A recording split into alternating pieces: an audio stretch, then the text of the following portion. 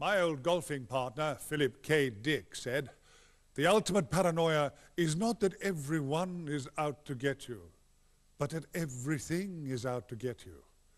At Sinister number seven, the most paranoid primetime show ever broadcast, and the most peculiar, you might recognize the stars.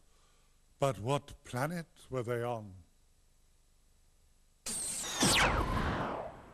We have been told that certain people are experimenting with time.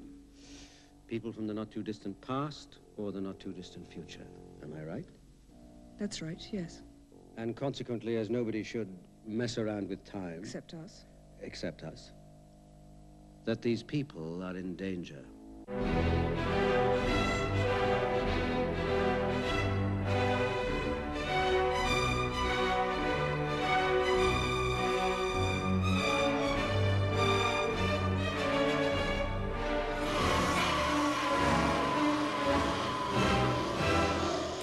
Launched as sort of mainstream television, primetime television, as if it was a soap or something, or as if it, these days it was reality TV. It was a, there was a big hype on it. You know, it was going to be a big thing. Transuranic heavy elements may not be used where there is life. Medium atomic weights are available. Gold, lead, copper, jet, diamond, radium, sapphire, silver and steel sapphire and steel have been assigned. Sapphire and Steel were two totally fictitious characters. Uh, one in a gray suit, Steel, and one in a blue dress, Sapphire, and that's about as much as we know about them. They are difficult to explain, and I'm still asked questions about who they are, and I don't know. It was great because it never explained who they were. We didn't need to know who they were, but they'd come along to do something.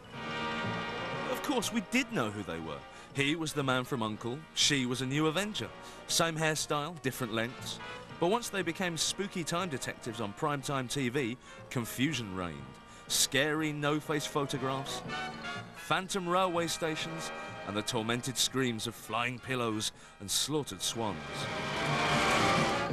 These time crimes were solved with the occasional help of lumbering lead and cheeky posh ponce, silver the pure essence of the programme was just them puzzling over puzzles constantly. The puzzle of time. That, that, that was it, week in, week out. Find it, Sapphire. Find the darkness. Sapphire and Steel was this very dark and oppressive and claustrophobic show. I mean, the two heroes were fighting. They were fighting sort of concepts. They were fighting the concepts of loss and guilt and misery and pain. They were the real villains there. And this was sort of, you know, just after tea time. No.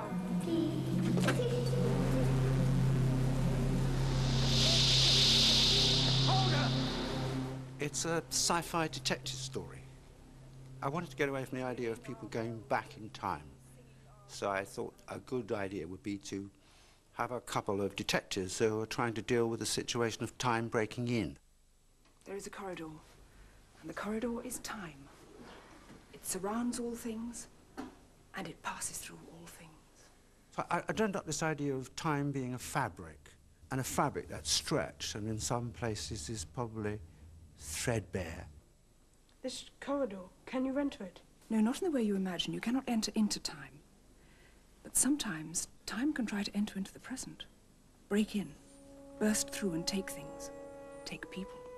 If that fabric of time was broken in some way, it was a disastrous situation for the earth and for the whole of life on earth. And whenever someone did something that possibly could reverse time or break that fabric, two um, agents were sent from some far-off place to come and correct the situation.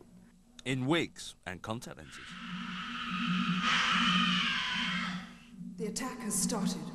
I think P.J. Hammond and Shaun O'Riordan didn't think of the forces that came back to break this fabric of time as malevolent necessarily. I think they all had a good reason. That's why that whole one in the abattoir with the agony of the animals being killed, I mean, it, there's a justification there. Don't worry, no one got it. That was the point. Oh, the fact that you couldn't understand a word of what was going on in Sapphire and Steel was definitely the best thing about it. Absolutely riveting. Sometimes it's best not to know because you can just let your imagination go right. We decided we wanted to make it a bit of fun. as well as being a supernatural thriller, and we didn't want to um, explain too much. Well, Not yet. well, there it is. But how do we open it? It has no lock, no handle, remember? Steel was the intellectual, the logical planner, the leader, the general. Sapphire was a more feeling creature, sentient creature who could, um, who could sort of tune in. No, the sun is shining. It's very bright. It's almost dazzling. They were just a very, very good foil for each other, and they were both very attractive looking in their own way. It was high quality nonsense. Yep, two blonde bombshells with all the time in the world.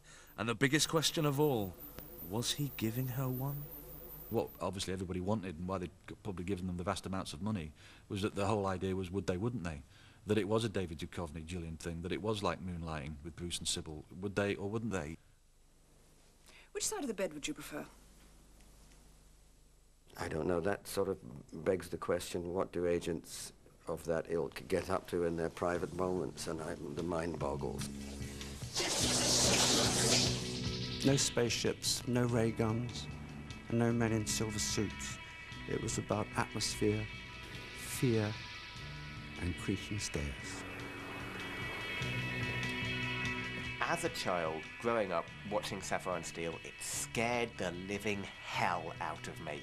They don't make shows that scary anymore. They make them jokey, but you you did not dare go to bed with the light off after Sapphire and Steel. Undead, undead, undead. The program wasn't about giving answers and wasn't about any form of explanation of, of anything at all, uh, and therefore kept everything open-ended.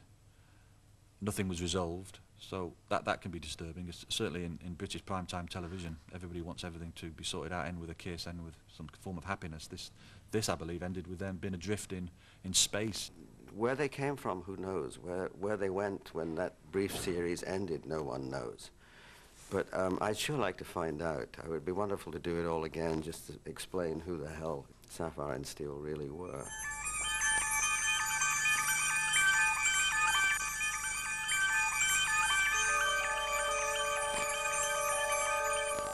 Time for a break in the space-time continuum. But will the universe be the same when you return? Hmm?